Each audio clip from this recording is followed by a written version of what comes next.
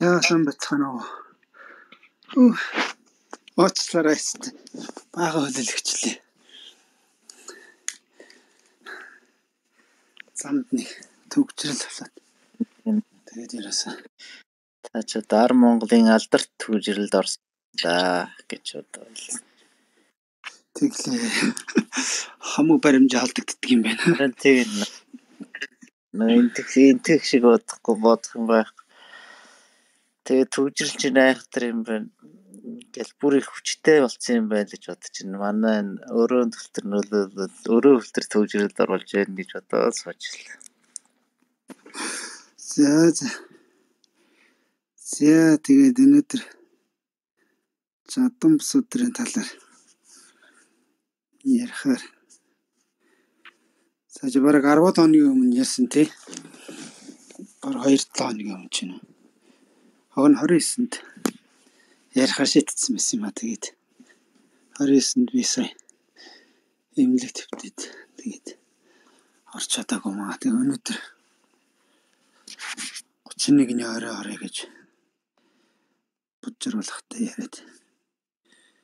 За тэгээ өнөөдөр гэсэн чи арай зам төгжрээд ингээд жоохон хөлөлөгчлээ. Тэгээ та бүхнээс хөлцөл өчьё. За за жадам судрын талаар ярих юм. Ярихын тухайд эхлээд яг бурхан шний бас нэг э, ялгааны талаар жоохон ярих хэрэгтэй болно.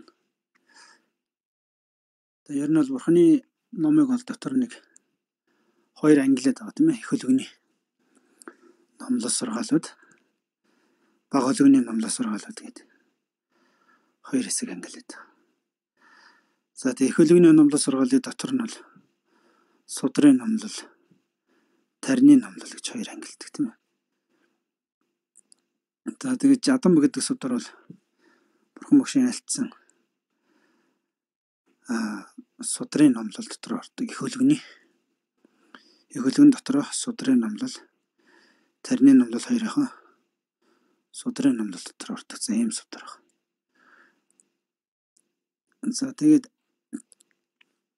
бол одоо ер нь бол 84 мянган цогц ном альцсан гэж эртний одоо сурвалж бичгүүдэд дурдсан байдаг. За бурхан багшийн алдсан 84 мянган цог сургаалууд ер нь бол одоо цагийн ирэхээр за ингэж одоо устдаж хүмүүстэж за ингэж үгүй усаар хагаад одоо өнөө бидний үед бол нэг 108 бот гаанжур гэж судар өвлөгдөж ирсэн байна. За энэ бол одоо бурхан багшийн альдсан тэр 84 мянган цогц номоос нэг 10%-ийнх нь 1%, 1%-ийнх нь бараг талд нь хөрхөөгүй юу. Хэмжээний тийм л ном гэдэг.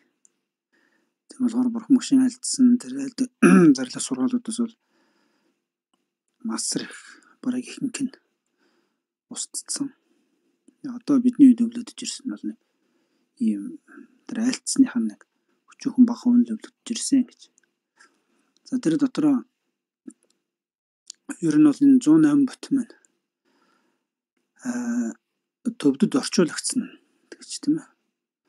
За эртний одоо төвдийн их мэрэгдүүд одоогоос мянган жилийн өмнөөс эхлээд ер нь бол энэ итгэгт байсан одоо бурхан шишний судар тарны хамгийн гол гол нэндэн сургаалуудыг бүгдийг төвдөлн дээр орчуулсан байдаг. За орчуулад орчуулсан нь одоо 108 бат байгаа юм л да. За түүнээс чи одоо энэ итгэвч бурхны шишин хэрвээ дороотойгоо явсан бол дахиад 2 300 бат ч юм уу орчуулагдахад бас боломж байсан байж. Боломж байсан гэж үздэг. Тэгээ яг энэ 108 ботыг ер нь орчуулад дуусж байгаа үед ер нь бол энэ итгэгт бурхны шишин мөхсөн гэж тийм. Тэгээ тэрнээс хойш л одоо энэ итгэхээс төвд рүү ном орчуулах тийм одоо үйл үйл нэх явагдах болсон байдаг. За одоо сүүлийн үед бол энэтгийг хятадталнаас төв төл рүү орчуулж үзээд байгаа. За хятад хэлэн дээр бол одоо төв хэлэнд орчуулдаг маш эртний. Бусдын ном сургаалд нэлээд байгаад байгаа тийм. Сурвалж бичгүүдс байгаад. Тэгээд одоо төв хэлэн дээр байхгүй тийм.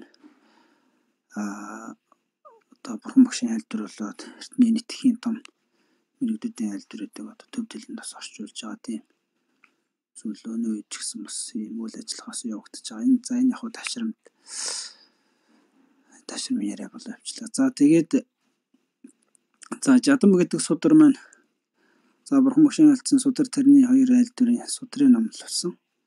За судрын номлол дотор бурхан багшийн алдсан бүх судрын номлолуудын тархин судар гэдэг тийм ээ тархин судар.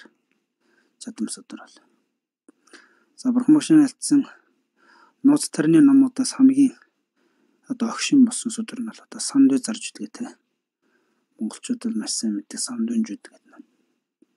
Та сандуйнжуд гэдэг ном бол бурхан багшийн алдсан судрын тарны аймаг номуудаас одоо хамгийн огшин минь болсон ном.